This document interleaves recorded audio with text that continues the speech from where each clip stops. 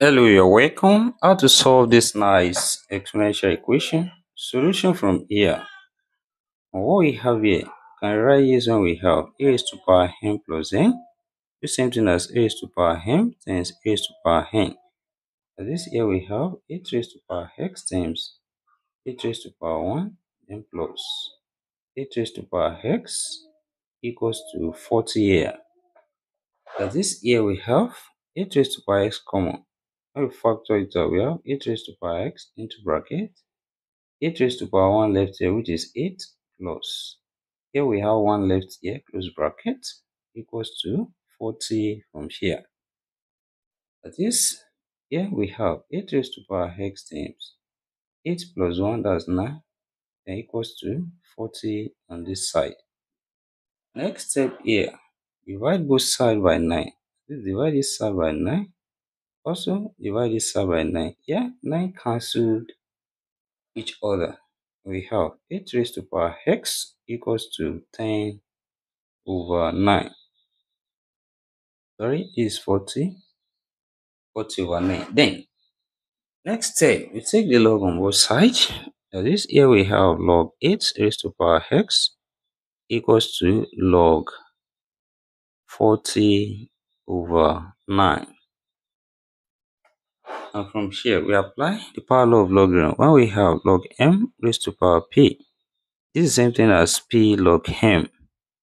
That is, here we have x log 8 equals to log 40 over 9. And next step here, also apply the law of logarithm. When we have log a over b, is the same thing as log a minus log b.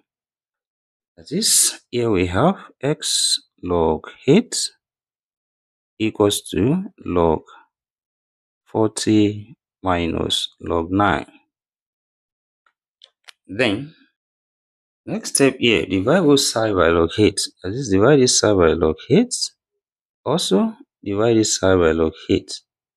That is here, log 8 cancelled each other. And we have x equals to we separate this into two fractions. This becomes log 40 over log 8 minus log 9 over log 8.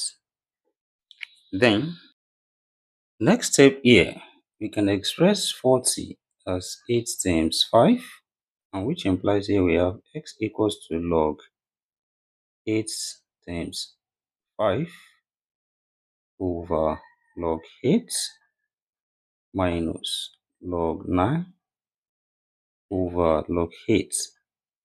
Then next step here, this follows the law of logarithm. When we have log a times b, I write this as log a plus log b.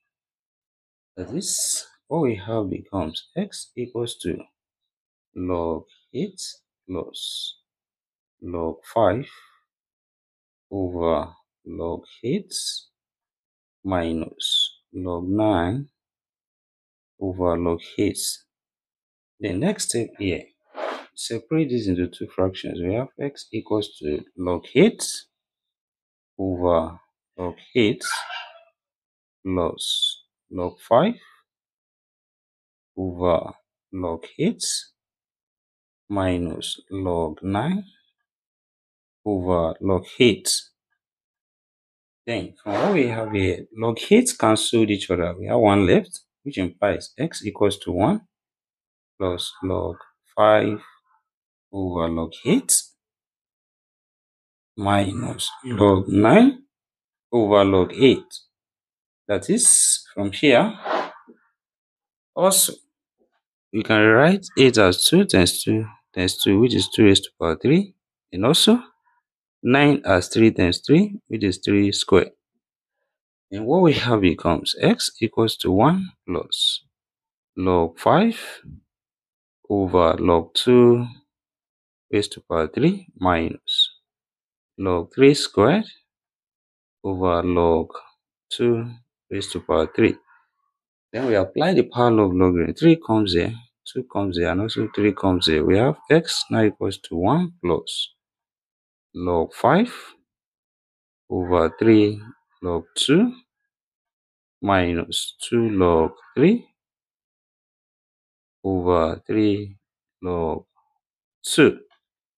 Then, next step here, we can write this as x equals to 1 plus 1 over 3 times log 5 over log 2 minus 2 over 3 times log 3 over log 2.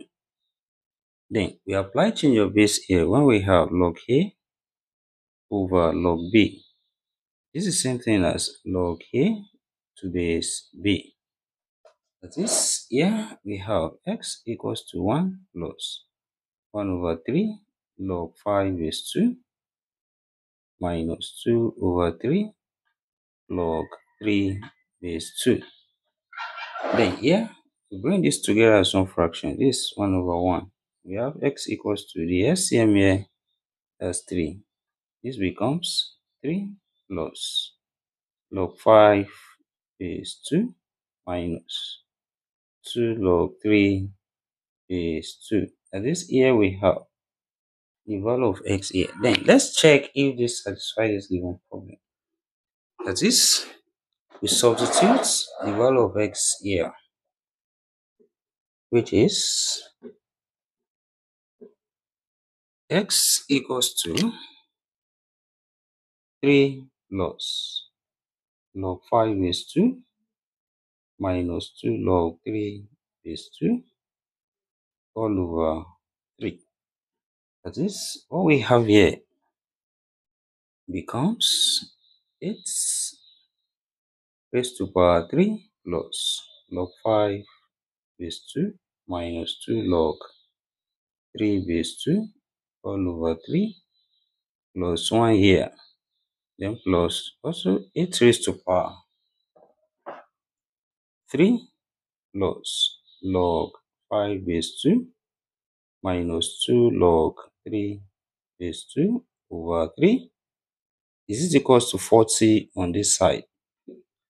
Then here we can bring this as one fraction of here 1 over 1 here and we have 8 raised to power LCM up that's 3 and here we still have 3 plus log 5 base 2 minus 2 log 3 base 2 then plus 3 here now then plus. Also here we have 8 raised to power 3 plus log 5 base 2 minus 2 log 3 base 2 over 3 this is equals to 40 on this side.